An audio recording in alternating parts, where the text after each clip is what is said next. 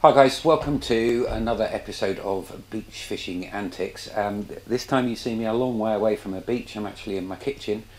Uh, I thought I'd um, show you the way I like to cook whiting fillets. Um, whiting's a, a fish that, uh, particularly this time of year in the winter, um, you can catch lots and lots of. They can become a bit of a plague, but actually they make brilliant eating. Um, they're a really nice fish. Actually, I, I understand the Queen's favourite fish. So waste not, want not. Um, you know, if you're not catching anything else, I'm quite happy to bring a load of whiting home and have a bit of a, a whiting feast. Uh, and my preferred method of cooking them is in tempura batter, uh, deep fried. So nice fish and chips is what we're going to have today. Um, so I think the first thing I'm going to do is stick the oven chips in the oven, which has already been preheated. I'm going to whack those in there and put the timer on for the time that it said on the bag. Simple as that. Right, we've got some um, frozen peas in that pod there, uh, in that pot. Um, so next thing we're going to do is make up some tempura batter. So we need a bowl, we need some scales. Okay, are the scales going to work? Zero that off. Splendid. Okay. Uh, so first thing we need is corn flour. Uh, what you normally use for thickening your sauces and gravies and stuff like that. Um, so we actually need 80 grams will be enough for me for the amount of fillets that I've got. Essentially the, the normal recipe is 100 grams of corn flour 150 grams of plain flour and 10 grams of baking powder. Um, but I know from previous experience that that's going to be way more than I actually need. So essentially, um, I'm going to do 80 grams of corn flour, 120 grams of plain flour, so that's going to take that up to 200, nice and simple.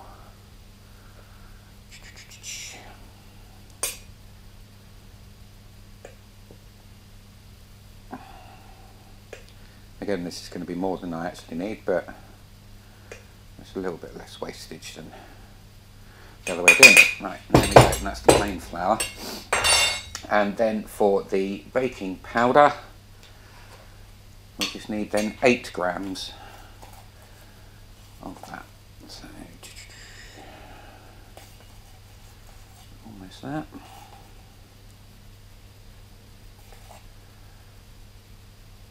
And there we go, and that's it, nice and simple. So you can take the scales away, because that's all the weighing stuff done. Stick those in the cupboard. Right, we're just going to roughly mix that together. The great thing about tempura batter is you don't have to worry about mixing things really carefully or whatever. The whole thing's fairly kind of rough and ready. Okay, and then we need to add a good sprinkling of salt, some freshly ground black pepper,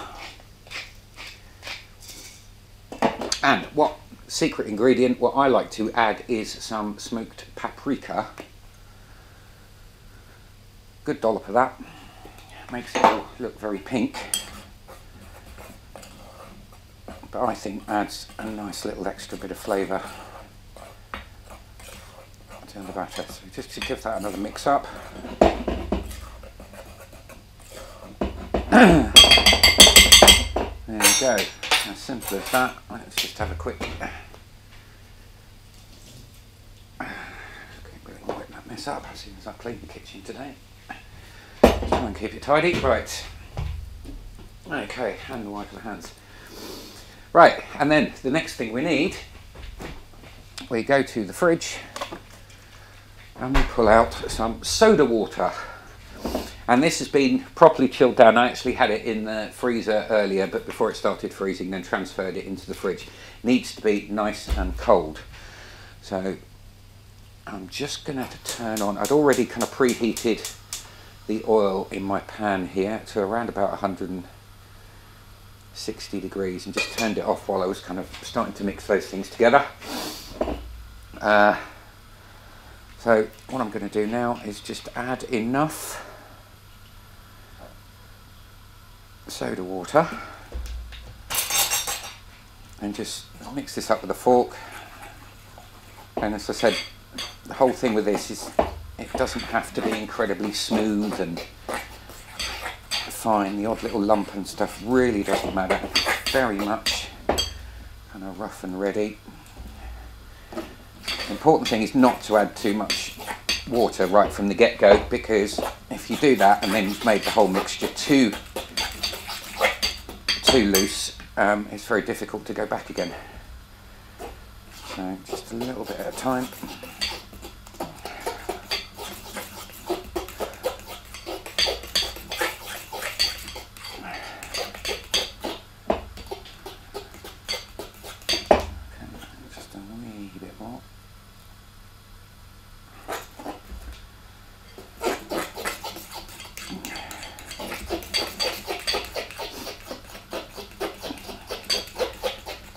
And what you're looking for is that it should just coat your finger. There we go.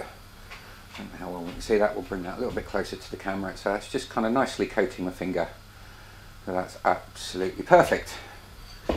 Bang, it's as simple as that.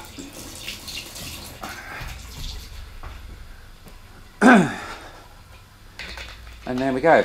Now all we need to do is we'll just take the lid off of there use this thermometer here, let's just check the temperature of the oil. Now what's a good idea to do is, um, because I'm going to be cooking quite a few fillets, I can't obviously get them all in the pan at the same time. Right, that's now sitting at over 180 degrees, so that's going to have to go way down. But the temperature's going to drop as soon as I start putting fish in there. So we don't worry about too much about that. What we need to do is just try and keep the, the temperature reasonably constant while we're cooking. so if you're not cooking oven chips, um, stick the oven on anyway because we're going to be cooking just a few of these at a time, then we need to keep them hot. Um, my oven's actually got, a, we've got a warming oven, which I've already got a pan in um, that's got a grill at the bottom.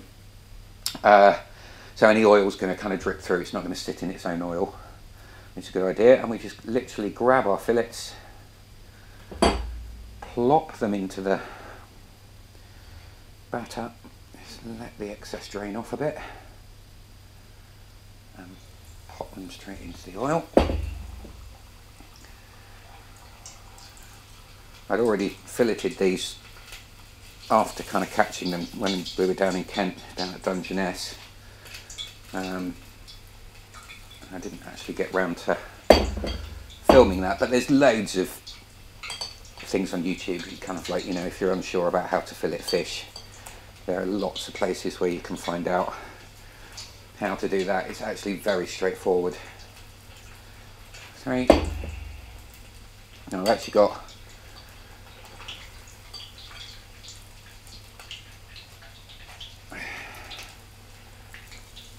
13 fillets here, so if I just find a small one, I should be able to get that one in there. And then I'll do another two batches of four, so that's five in first. First batch, put that in there. Rinse the fingers. Doo -doo -doo and have a quick wipe off. Okay, so they're now bubbling away nicely make sure that they're not stuck together, which they're not. Absolutely beautiful. And they really take no time at all uh, to cook. Uh, which is why I've already got the chips in. Literally just a few minutes.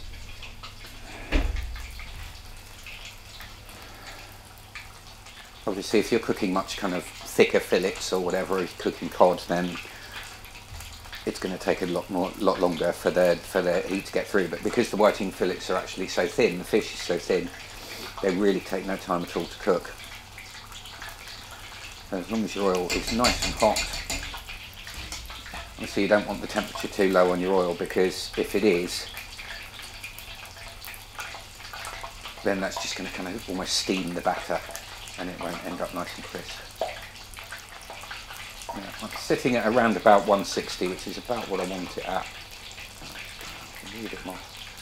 That's perfect. So just occasionally kind of roll those over to make sure that they're cooking thoroughly. Okay, and I think they're almost done. So what I'm going to do is go to the warming oven. Take the pan up. Just got a roasting pan here that just happens to have a kind of um, a kind of grill thing, uh, kind of mesh thing at the bottom, which is absolutely ideal. So that's already kind of warmed up in the warming oven, and then I can literally just scoop these out. As you see, that batter's nice and golden. As much of the oil off as we can.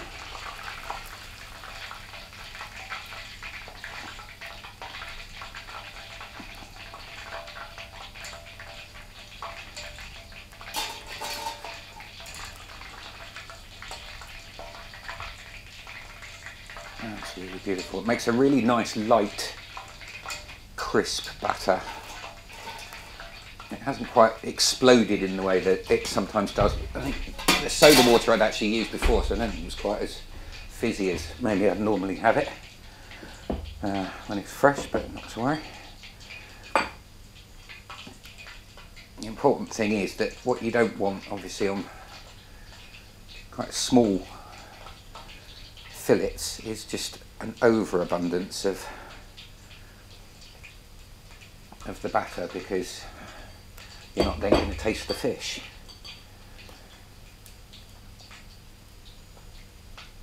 Quite a skinny one, that one. one.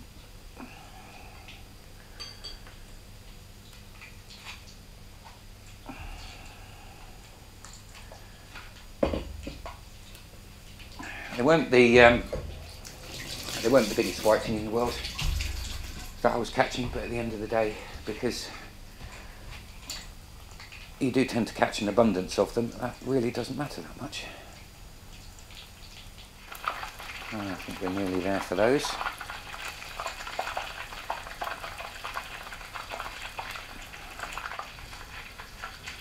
So we will get the pan out where we're keeping the almonds warm.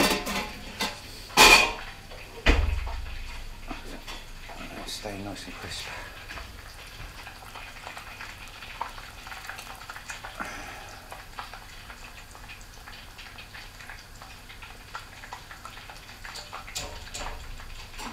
these off, stick them in there.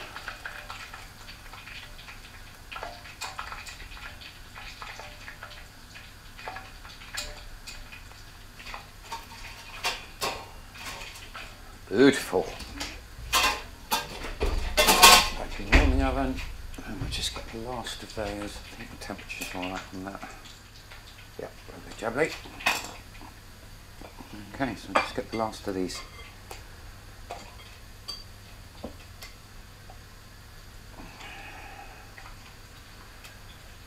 That's it. Oh, nice skinny one.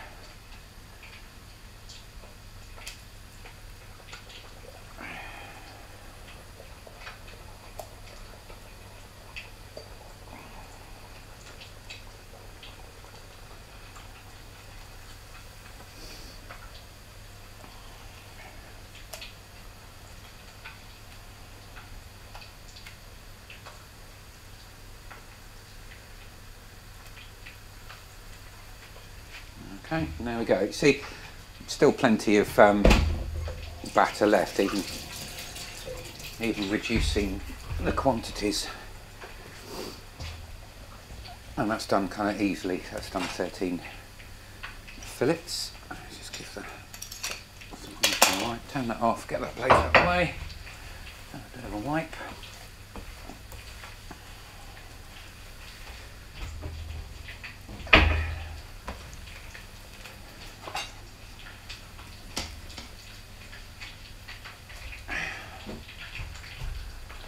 Try and keep the kitchen kind of tidy as I'm going along. There's a lot of fussing about afterwards when you, you've eaten and you really don't want to be kind of then having to clean up. And we'll have a look at the chips. There we go, there's the alarm gone off.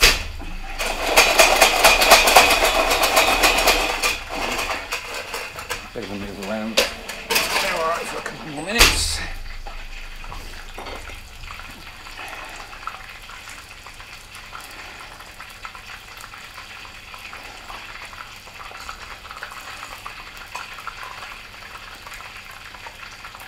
Okay, so while they're finishing off, we'll grab a couple of plates. Down to there, chipotle sauce, and next most important thing, just climb, oh, behind the camera.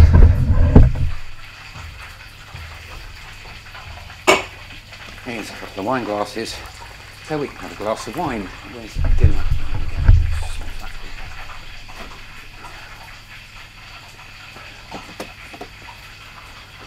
So there we go, we've got a nice Sauvignon Blanc, perfect with fish.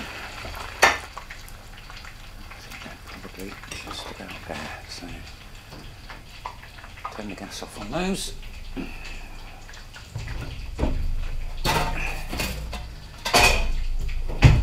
One's out. I'll bung these in there.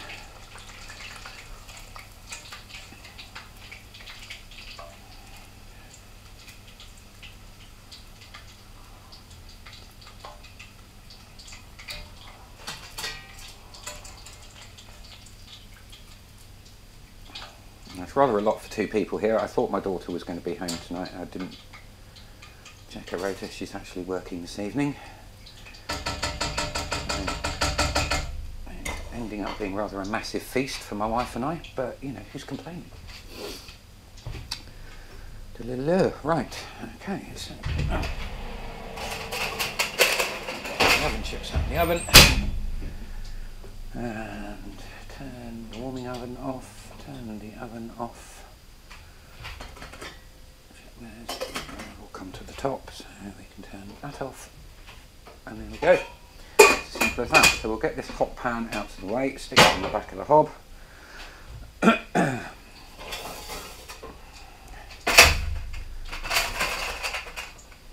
and all that remains is drain the peas.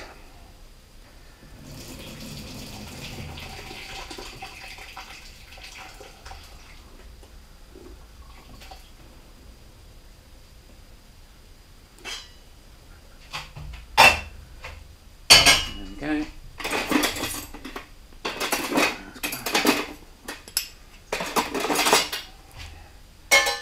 Spoon for those. Grab a spoon for the chips. And there we go. So all we need to do now is just plate that up. Look at that. Absolutely beautiful whiting fillets in tempura batter. Let's just get that dry. Look at that. Mmm. Beautiful. Beautiful, beautiful.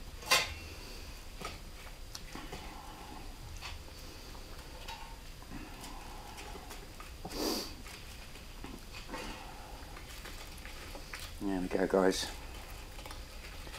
Who needs the chippy when you can catch your own? And they come out as good as that. Chips.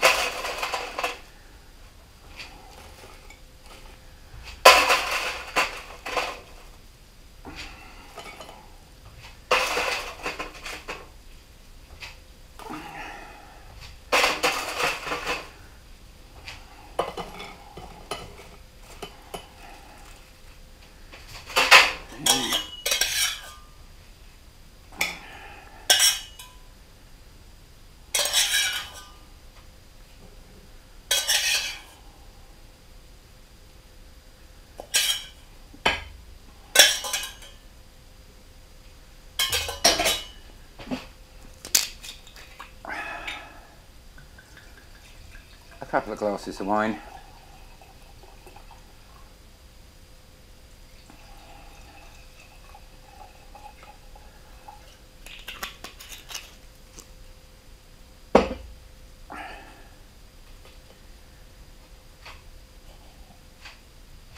And there we go guys, you can't beat that.